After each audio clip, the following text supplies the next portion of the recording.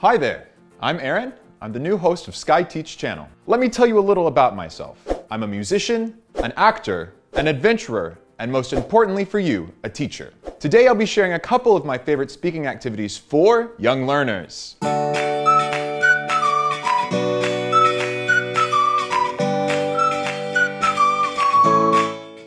The first one is Poop Deck. I actually learned this game at summer camp. It's super fun, it's got a silly name, and it's infinitely adaptable for young learners. So the way to play this game, ask your students to line up along one side of the room.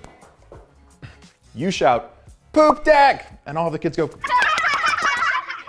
you say, crew, where are you? And you can ask them to use their pirate voice. And they say, we're on the poop deck. Then you say, crew, main deck. And they go, and you say, crew, where are you? And they say, we're on the main deck. There are a lot of ways you can adapt this game. First off, the last kid to cross the line can be the new leader. So you say, Paulina, come here, come here, come here, come here. Say poop deck. And she'll go, poop deck. And run, run, run, run, run, run, run. And then the last kid who comes, you say, Vika, come here, come here, come here, Vika. Say poop deck. Poop deck.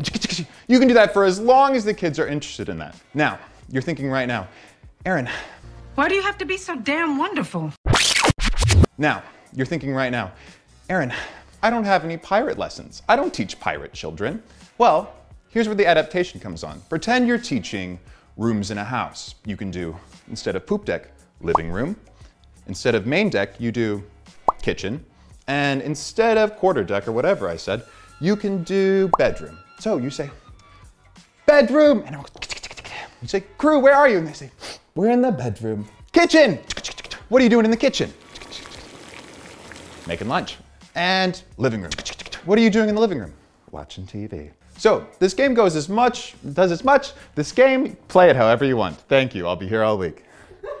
Another way to adapt this game for older learners is if you have them run to the living room, you can say, what do you see in the living room? Um, I see a TV. What do you see in the living room? I see a couch. Great. Run to the kitchen. What do you see in the kitchen? I see a refrigerator. I see a table. This can be played with a variety of beginner topics and can be played with these variations. I don't know where you're gonna put the... Next up is role play. Kids get super excited when you get a costume box. Now, I actually learned this in my German class in high school, where I would regularly dress up like a German supermodel.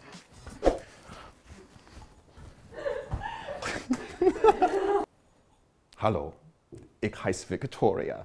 Now, while my experience with this is a bit ridiculous, it can be super effective if you do it in your English classroom.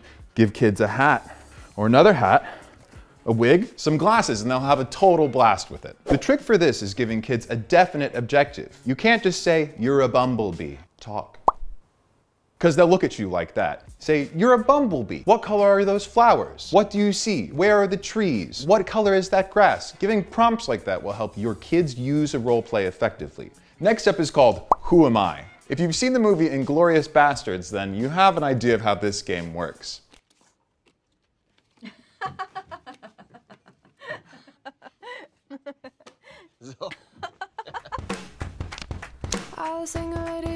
Now, while we usually play this game with my friends when we're smoking and drinking, I don't recommend that with young learners. But, like the rest of the activities in this video, it's infinitely adaptable to young learners. Now, to structure the playing of this game, you can have them sitting in pairs, or if you have a class that can handle it that's maybe a little bit older, you can have them move around the classroom asking, do I have brown hair? Do I have glasses? Do I have a beard? Am I old? Things like that. If you do questions that aren't yes or no, the game doesn't go as well and isn't really as fun. Now, you can adapt this game in a million ways, the last game I'm going to share is a game I learned in Mongolia, of all places. It's called Atom Molecule. Atom Molecule. It's played by getting students into groups. So when I learned this game, an animal was assigned to a number, let's say one to five. So one is dog, two is horse, three is camel, four is cow, and five is elephant. So the way to play this game, the leader, the teacher, that's you, shouts the name of one of the animals. For example, if you say horse, students get into groups of two and go For added fun, I like to have students stand in the shape of the animal to create an illusion of it, and also sometimes make animal sounds. This can get out of hand, so be careful. Now, to turn this from a vocabulary game into a speaking game, you can ask questions and prompts like we talked about in Poop Deck. So say, what are you riding? And students answer, we're riding a camel. Where does this animal live? In the jungle. Hello? Things like that. Prepare your questions in advance, but again, this game has tons of applications. An adaptation I regularly do with this game is with modes of transportation. You can have bike, motorcycle, car, metro, train, plane, Another one you can do, again, is rooms of a house. So, toilet, kitchen, living room, bedroom. Um, there's probably a better order, but you understand. Is that all right? that was the laziest thing ever. You get it! I've chosen these games because I think they're super fun and super adaptable. Now, there are a million and one ways, and I'm sure you teachers in Russia have your own games or adaptations of these games that I've played in the US. Feel free to share them in the comments below. Thanks for watching, and don't forget to like and subscribe to become a part of our great team of online teachers here at Skyeng. See you next time. oh, I can do this all day. Like, just give me a camera and people to laugh at my jokes. Yeah. Um, also, will you come? Will you come? Will you do this with me? Horse. So you run and find a friend. Okay. Today, I'll be sharing a couple of my favorite. Today, I'll be stumbling over my words the entire day. Welcome. Welcome to Skyteach Channel. I'm going to try that again. The easiest five or four pictures. English is my first language, guys. okay.